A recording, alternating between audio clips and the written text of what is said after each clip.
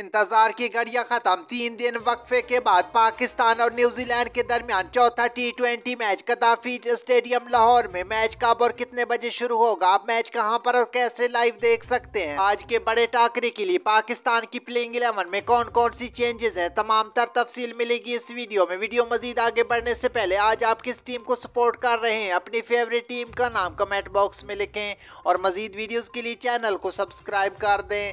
پاکستان بمقابلہ New New land چوتھا T twenty match آج قدافی اسٹیڈیم لاہور میں کھیلا جائے گا۔